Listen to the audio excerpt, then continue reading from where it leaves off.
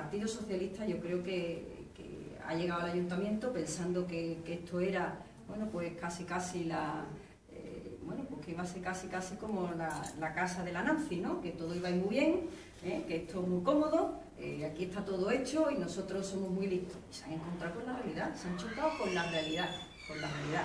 ¿Y la realidad cuál es? Pues la realidad es que gobernar la ciudad es muy difícil, que hay que bueno, pues estar rodeado de un equipo de personas que, conozcan ¿no? de, de, los temas, que sepan de los temas, que sean expertos en cada uno de los temas, que, que, hay mucho sufrimiento, o sea que gobernar Jerez es un honor, es una extraordinaria responsabilidad, pero realmente se sufre mucho, se sufre mucho.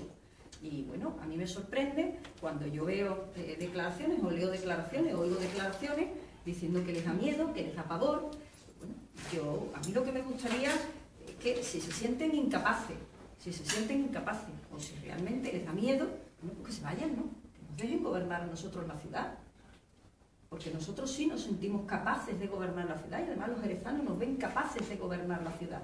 Lo que no puede ser es que entren en la estrategia que han entrado, en el discurso en el que han entrado, es decir, como estoy acobardado, como no sé si voy a ser capaz o no voy a ser capaz, venga, pues voy a decir que está todo muy mal, para que cuando haya problemas la gente diga, uff, es que está todo... No, no, no. Ahora mismo el ayuntamiento está donado con proyectos muy claros y muy bien definidos que solamente había que rematarlos. Y lo que no vale es, bueno, pues Jerez no puede tener un gobierno de miedicas. Jerez no puede tener un gobierno de miedicas. Jerez tiene que tener un gobierno de valientes. Y ellos están ahí porque ellos han querido estar. Por lo tanto, que dejen de llorar que dejen de culpar a los demás de cosas que no son reales, de cosas que no son reales. Ya nos hubiera gustado a nosotros asumir el gobierno de la ciudad en la situación en la que nos obvio son proyectos.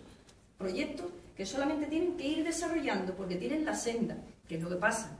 Bueno, pues que seguir esos proyectos que inició el PP es como reconocer que el PP tenía proyectos. Y eso es lo que ellos nos quieren hacer.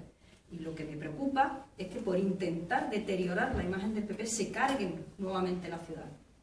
Eso es lo que me preocupa, eso es lo que nos preocupa enormemente, que se cargue la ciudad, que cuando la ciudad estaba ya a punto de despegar, simplemente por no tener la humildad o por no tener, no sé, el ejercicio también nuevamente de transparencia, la transparencia no solamente son los números, de decir, oye, pues venga, aquí hay proyectos, proyectos que son buenos para Jerez, los vamos a seguir ejecutando, bueno, pues entremos nuevamente en la parálisis y que entremos nuevamente en, pues, en el caos económico. Yo creo que eso es una auténtica irresponsabilidad sinceramente le digo, yo creo que eso no es lo que necesita Jerez ahora mismo.